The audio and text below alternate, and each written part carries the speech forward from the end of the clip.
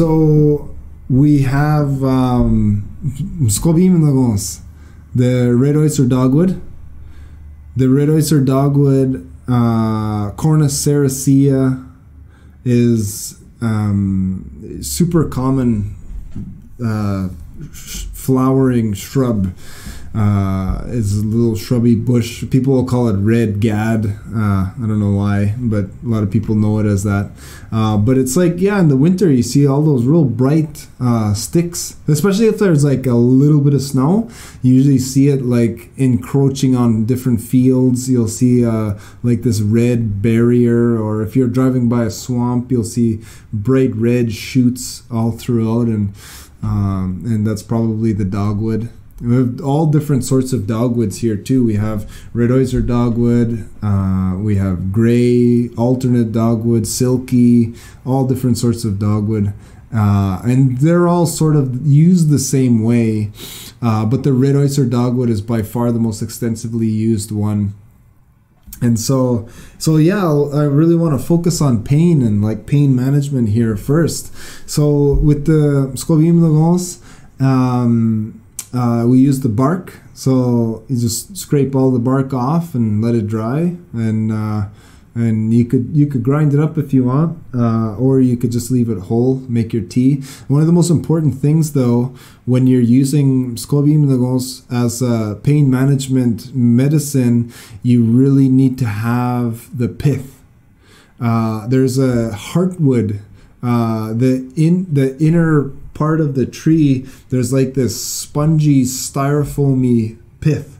Uh, and and that needs to be scraped out.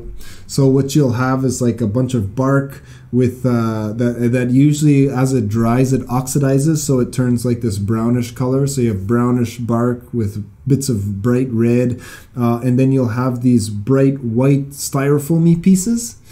Um, there was this amazing. Um, uh, research done up north. I think it was in northern Alberta with a, with Cree communities that still have really strong traditional midwifery uh, practices in their community, and uh, this is one of the things that they experience in one of the local hospitals where um, the the uh, the women use still use this medicine uh, during childbirth to help with pain and uh, and it's just a tea. They drink the tea while they're in labor, and uh, and and they prefer this over an epidural. So women who have had multiple children who've tried an epidural, they'll they'll they'll completely resist the, the epidural and make sure they have their medicine for their next children.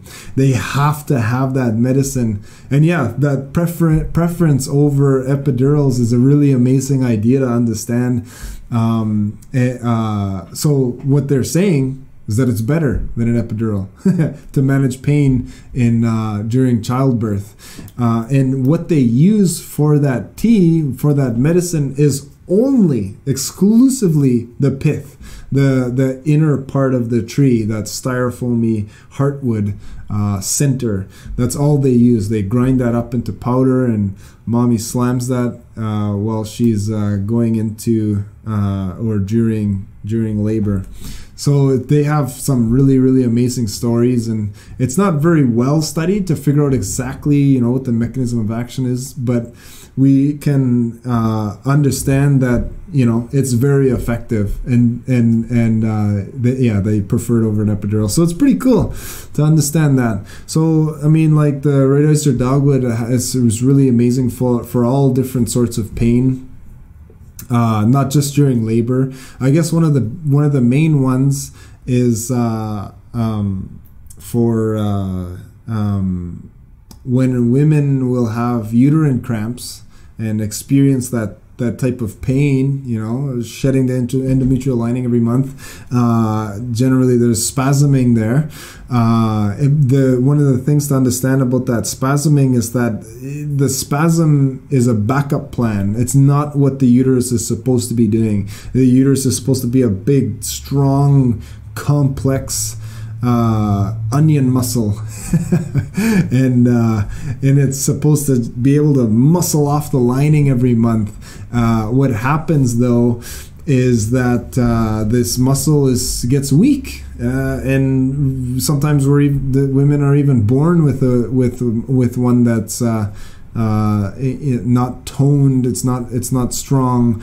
And then and so when the uterus is not strong the spasming is a backup plan to rip the lining off. Uh, and sometimes that ripping will result in a tear uh, and that tear will turn into scar tissue and the scar tissue can turn into a fibroid and a lot of women issues uh, are coming from uh, weak uh, uterus muscle. and so, one of the most amazing things about red osier dogwood is that it helps with pain directly, but also peripherally too. So, for menstrual pain, it tones the muscle.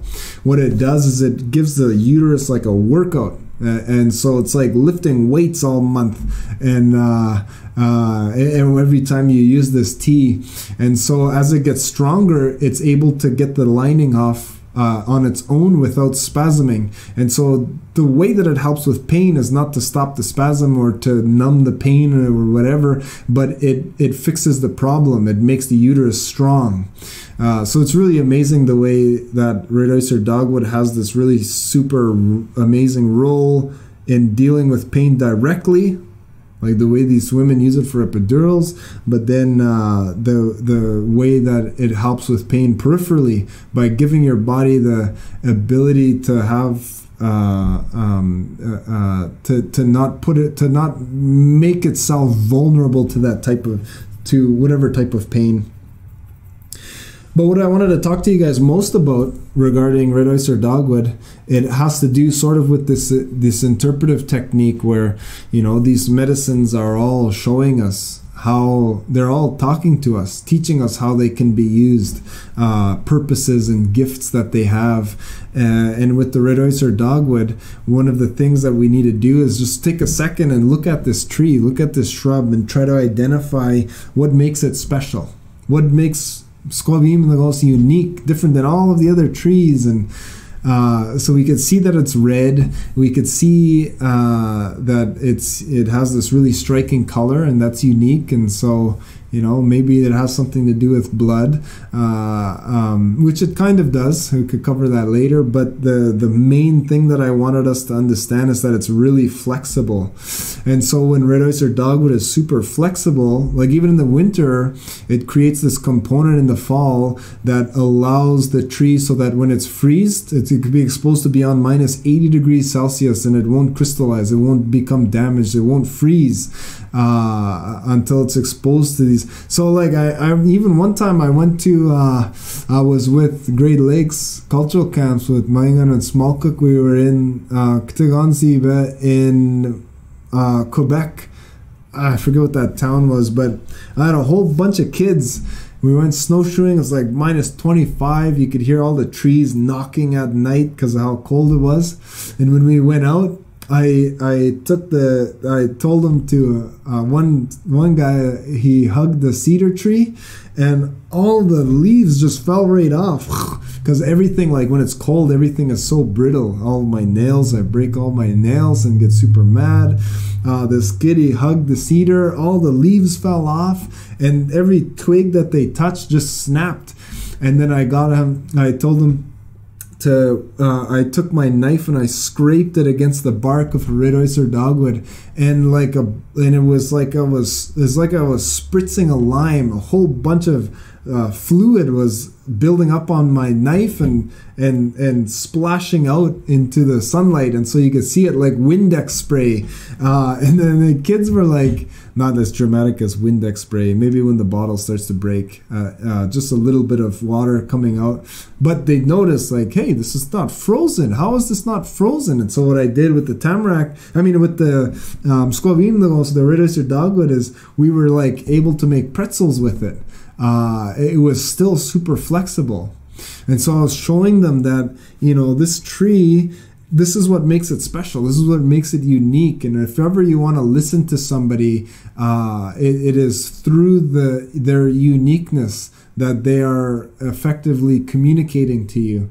Uh, and so, yeah, same thing with plants. And so let's take a second, look at this extremely flexible tree. It's made to even be flexible even in the middle of winter. So this is something very special. So let's look at that and uh, and try to listen to it.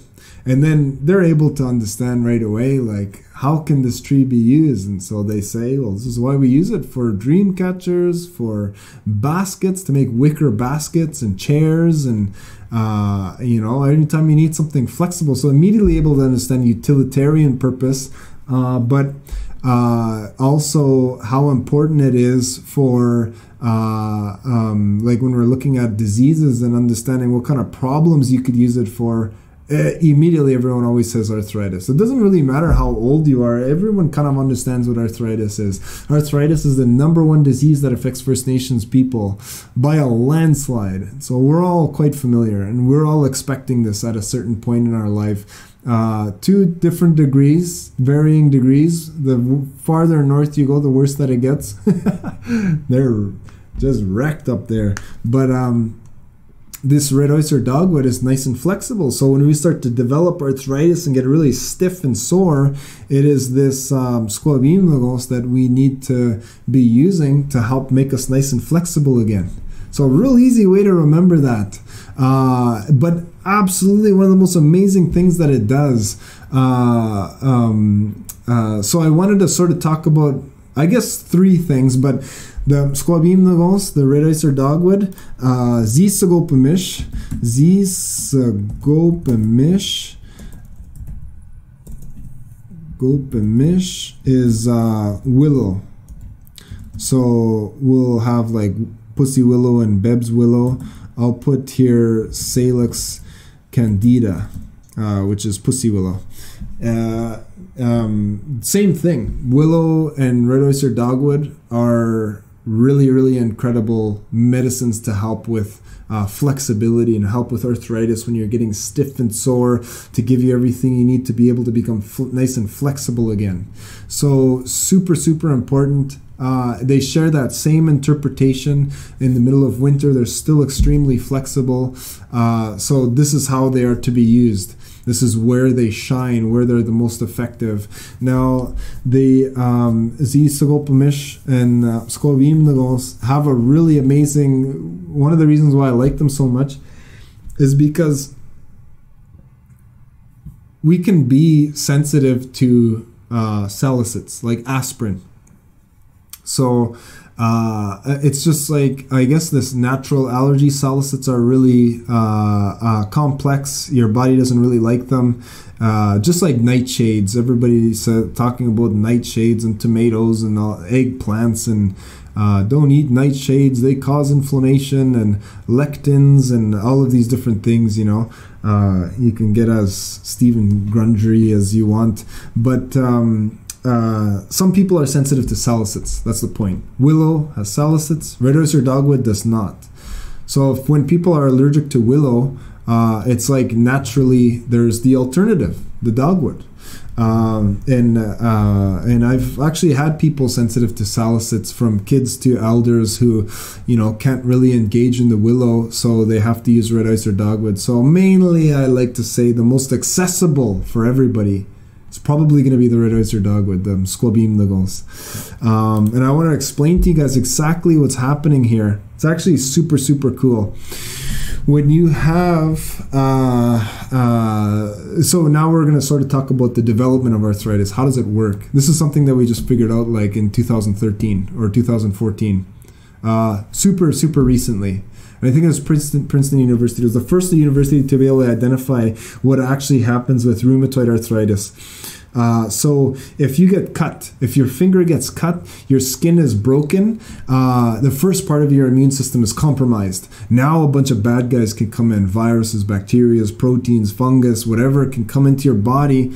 So that cut your immune system is activated and it gets sent there. Uh, two parts to your immune system. One is called macrophages. And macrophages go to that cut and they're just these big boogery, blubbery balls that just roll around everywhere and eat all of the bad guys coming in.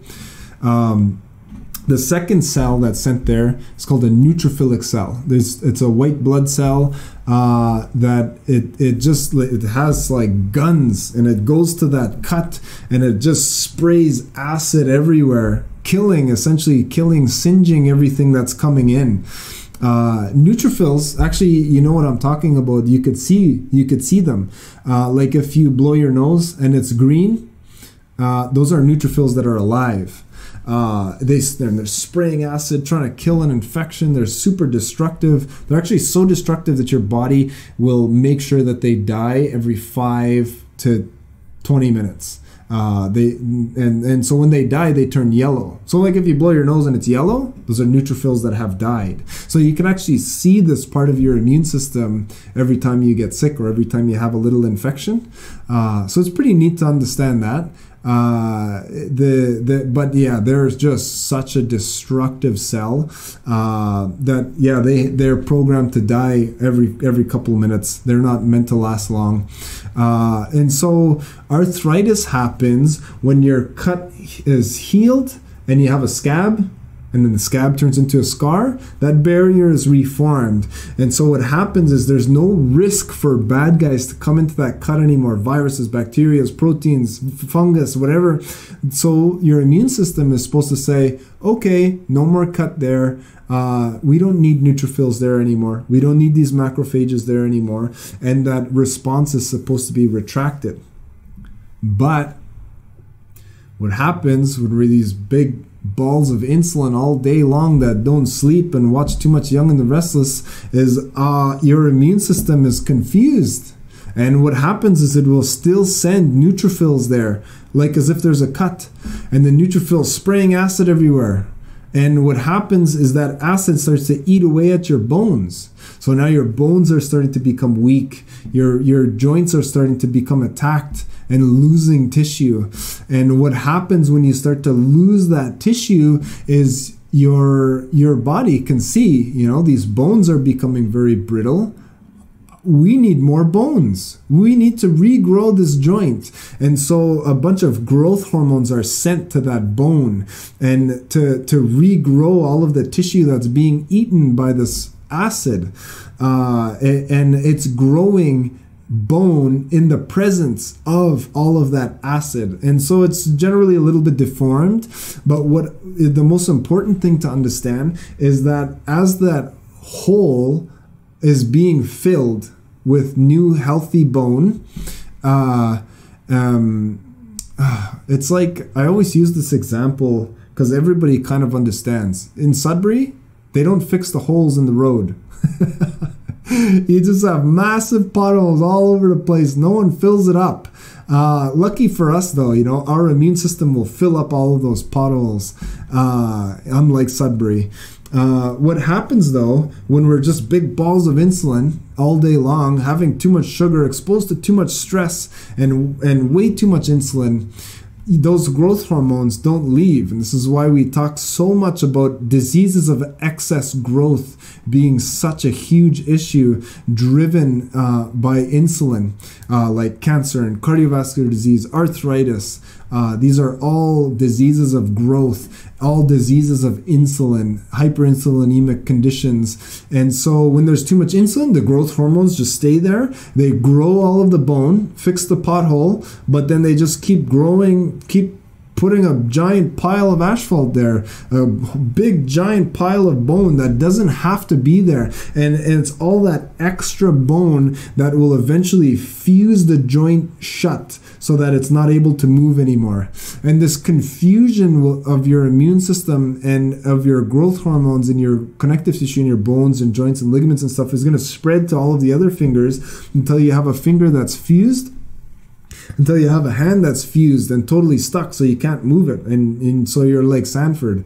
And then and, and then it'll spread to your wrists and your wrists will get fused and then your elbows will get fused and and all that extra bone will fuse it shut uh, and then it'll spread into your shoulders and then into your spine and so, until like every part of uh, uh, this is affected by the arthritis and you're completely dependent on somebody for feeding and for bathroom and for cleaning and uh, it's a really devastating disease. It's an autoimmune disease. It's driven by cellular senescence and inflammation. Uh, and um, uh, but the, the driving force of the disease are those neutrophilic cells. The problem, the damage that's done is all that extra bone. So, the most beautiful, most amazing thing that we need to remember is that Squabeam, Lagons, Yisagopamish, Red Osier Dogwood, uh, Willow, um, they have their chemistry, their medicines inside of them uh, do two things they inhibit that influx of neutrophilic cells. So they so all these cells spraying acid everywhere. It's like Willow comes in and gives your immune system a little slap, like what the heck? You haven't had a cut here in 40 years. What the heck are you still sending neutrophils there? These are destroying everything. So then that response is retracted. So the driving force of the disease is removed. Now you're left with all this damage. And so the components inside of Squabim Nalonzi what they do is they uh, they mediate growth factors in the connective tissue. What that means is that gives your body the ability to see that, hey, there's only supposed to be bone right here. Why is there a whole bunch of extra bone? What is all of this? We don't need that. And, and so Willow comes in again. Red osier dogwood comes in again, gives your immune system a little slap. Get you don't need that extra bone. What the heck you doing growing all that? And so it becomes hormonally rejected. When all that extra bone is hormonally rejected, your body begins to, uh, your immune system will see it and it'll see all of that extra bone that's fusing your joint shut. This is a threat. Your immune system will see, hey, we got to get rid of that. This is not supposed to be here. And so uh, your immune system will go there again, but this time in a perfectly controlled way and start to reabsorb all of the calcium from that extra bone. And as that extra bone is getting reabsorbed, your range of motion will come back. So when you look at Red Osier Dogwood and and Z uh, and their flexibility, their their gift that they show you, you look at those trees and and and you say, I want you to help me with that. Help me be nice and flexible. I'm stuck. Then, uh, as that bone is becoming reabsorbed, your range of motion comes back until it's completely gone. And so, when we make this medicine with um, Mskwabiimnagonhs, Yisagopamish, kiishgandak shkigottagons asari gandak bigyu take all these different medicines and we cook them inside of a and make a salve an ointment.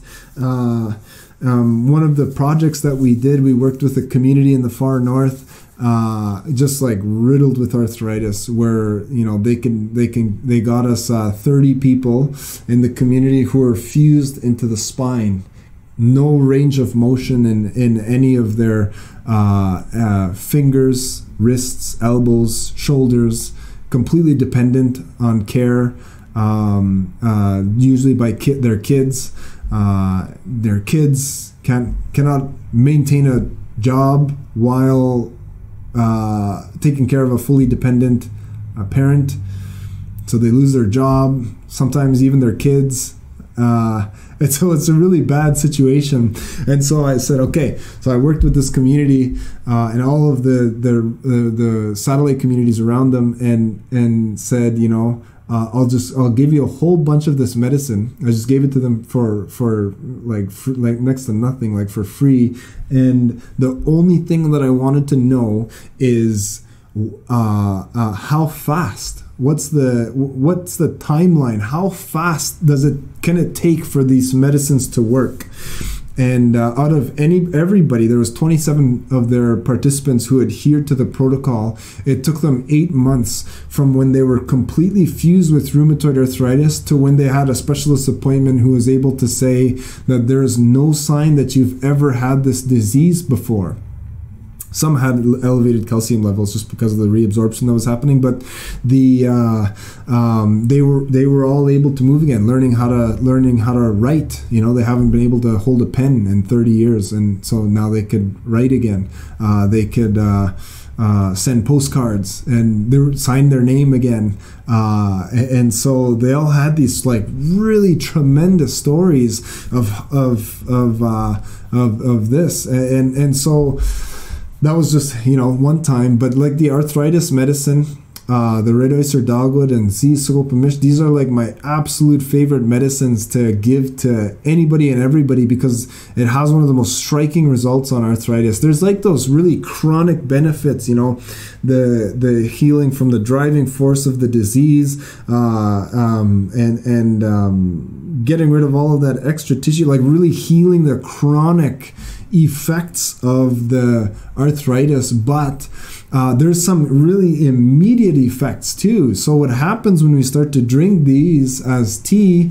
Uh, again, like willows, if people are sensitive to salicylates, salicylates like aspirin, uh, then uh, then the willow should not be uh, uh, one that that like I, I wouldn't support, but certainly the red osier dogwood and those salicylate free um, uh, medica- medicines inside. Uh, um, when you make this tea the next day like sometimes my favorite stories is just like just you know when people wake up in the morning and you're super sore you kind of like lie in bed a little bit and you you just sort of do a little bit of exercises roll around um, working with your fingers a little bit you know just just gotta work that little bit of soreness out uh, before you want to get out of the bed and walk around and make some coffee and uh, have a shower or something like that. So it's it's um, those people who just yeah just have this level of pain every day that you just manage. You just deal with it. Sometimes you deal with it with pharmaceutical uh, interventions, different different pain medication. Uh, but um, what happens when you when these people have it's called even the uh, the bark tea they wake up in the morning and it's like that all of their joints are just full of butter. And you just get out of bed and uh, your body just moves. It feels fantastic and uh, and the level of pain is so low. What usually happens though one of my favorite things um, uh, is is using it in aging you know especially women who who are going through you know their aging process women are just these creatures designed to deal with so much pain. and you just deal with it. Uh, like, uh, like I'm, I'm a really firm believer that you know if ever, if any woman could just you know lend to their husband an hour uh, uh, the pain that they deal with on a regular basis, we would just fold. uh, um, women are, yeah, absolutely incredible. And I think that um, uh, um, this is why, you know, as we age, our pain tolerance uh, goes goes just slowly gets higher and higher and higher. So when we're old and old women especially just deal with the most outrageous amounts of pain every day, uh, and one of the one of the consequences of that is sleep. So as we age, we get older. A lot of older women uh, sleep less, maybe four, three, four, five hours a night. Uh, and what actually is responsible for not allowing you to sleep and you know forcing you to have to nap all the time to catch up on on these sleeps. It's the pain that wakes you up in the morning. It's the pain that doesn't allow you to achieve those last two three sleep cycles a night and uh, uh, uh and force you to have this napping lifestyle. Uh, it's pain that is responsible for waking up. Now if you're able to manage your own pain um, uh, and use Sklavim like have this medicine tea from Red Osier Dogwood. Everybody has the same story, and it's super cute. It's real funny. I went to Mikok, the senior center in Wiki in Wikwemikong, my community, and uh, it was just like I would make tea while th- they quilted. Like on Thursdays, they would quilt, and I would come in and make tea, and we would have tea uh, they would quilt. Uh, I'd be there for a couple hours, and they'd go drive me home, and and, and it was like i I'd get a couple, you know, hundred bucks here and there. And it was super fun, like when we were first starting.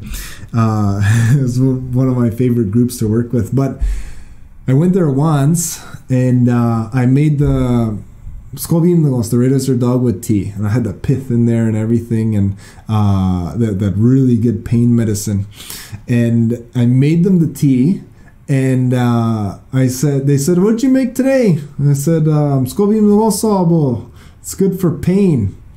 And then they got mad at me a little bit. I got I got a little bit of a lecture. Um, and uh, the idea here was that you know, don't tell me that something is going to help with pain.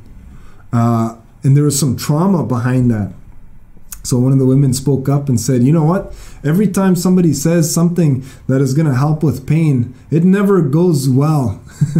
it never goes well because you know what? I start taking this medication uh, that helps with pain, and uh, I don't, doesn't really help me to feel good. And you know what actually ends up happening is other people know that I have this medication and they want it. You know, talking about opiates, I guess. And uh, what happens then is uh, I'll get hurt. They hurt me to get that medicine, those drugs, uh, to get this pain medication. And I can't I, I don't like that. Don't tell me that a medicine is good for pain. Every time I hear that, I get hurt. Somebody gets hurt. And so there was like this really broken idea it, it, with uh, the group that we were working with. And I was like, I was just a kid. And. I was like, oh man, I'm so sorry. I didn't mean to to say this. I didn't mean to really, you know, hurt your feelings. And I thought, oh, geez, okay, well, you know, the tea is delicious. So let's just enjoy this tea because it tastes really good. and uh, and and uh, and so like I try to shrug it off, and um, that, but yeah, just thinking about this issue of uh, elder abuse and prescription medication, and I was like, man, this is a real problem, and so. Uh, um, uh, so yeah, you know, they just kept quilting. Once the tea was done warming up, I brought them all cups, and uh, and they started drinking, and uh, they quilt in the center of this big room. They have all those quilt quilting. I don't know what you call them, horses, I guess. And uh, there's a bunch of couches all around us, and um, you know, a couple of them are quilting, and then you see them just like they're getting a little bit lazy, resting their face quilting and then one of them was like whew I'm gonna lie down she sat on the couch and then just snoring right away and we're all looking at her like, holy, she must have had a bad sleep. And then um, they just started not get nodding off one by one, going to the couch. And then uh, like it was a short time after drinking this tea, everyone was sleeping. And I was like, I was like, huh. I, well, I'm not teaching anybody anymore. So uh, I went to Kim, the, the, the coordinator there, and I said, hey, they all passed out bung this out. So then she she said, uh, well, I guess we'll take you home now. and I went home and uh, yeah, a couple weeks later went back to do make some tea for them again. And they're all like, I want that medicine again. Make that pain medicine. Uh, something worked, and they were actually the ones who explained to me they they deal with so much pain. It wakes them up throughout the night. They have bad sleeps, and then they said, you know, when that pain was gone, the first thing that I wanted to do was sleep. So all of them just passed right out, and uh, then I, I, got out of work early. Uh, but but they they said, yeah, you know, there was something really special about that tea. The the how good I felt, how normal I felt, you know, that pain that you normalize and just deal with every single day, this should not be there. You do not have to deal with that. Uh, and the Mskwabiimnagonhs is really, really good, really, really important medicine to, yeah, give you the ability to deal with that. Uh, and and especially that arthritis pain, uh, but then also understanding its role in like emergency or injury type of pain, like the way the women used it for an epidural, uh, or you still use it as an epidural, but the but then also some of the peripheral ways that it helps with pain. So like with menstrual pain, not really, uh, um, uh, uh, not really uh, numbing or dealing with any pain and specifically pain receptors in the uterus, but strengthening it, toning it so that it does not have to resort to spasming. So, uh, all different ways this medicine helps with pain and. Uh, um, uh, really easy to brew incorrectly though. if you use too much, oh, you can't swallow it. It's just off the most awful thing that touches your lips. Uh, uh, so you know, learning how to make it is a little bit of a learning curve. You got to practice. Uh, um, and so we end up using about 10 maybe 15 grams of the bark per gallon of water or so and uh, uh, and that's usually like perfect and it ends up being yeah pretty good uh, this kind of medicine this this uh, bark tea we use it for um, uh, growing pains uh, you could soak a cloth, and uh, and people use that for teething babies. Uh, when teeth are coming in, you soak a cloth, and then you could freeze it and give them that cold cloth, and all that red osier dogwood juice is going to be in their mouth and really help with all of that pain. Uh, so it's really good for that too.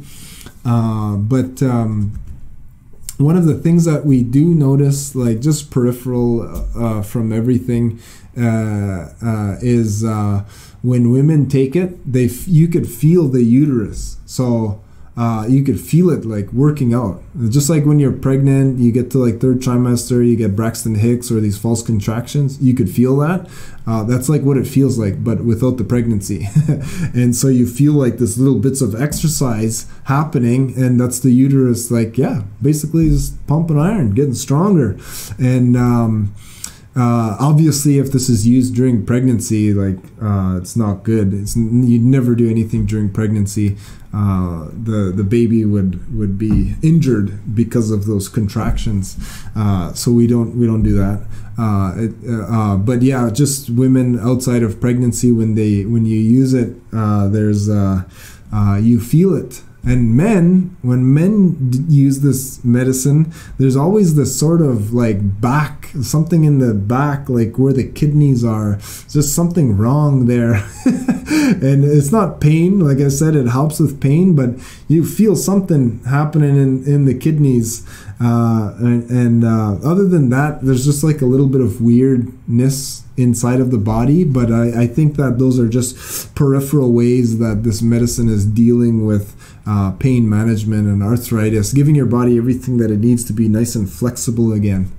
Um, so Mskwabiimnagonhs z mish probably like just uh, my favorite pain management medication, especially for arthritis. Uh, and just even icing on the cake is the fact that arthritis is the number one disease in First Nations communities in Canada. So that's just like a really important thing that that I'm really really happy to share with you guys, uh, and, and give you the opportunity to to you know have these experiences for yourself. Uh, so yeah, I'm Oh man, I love it so much.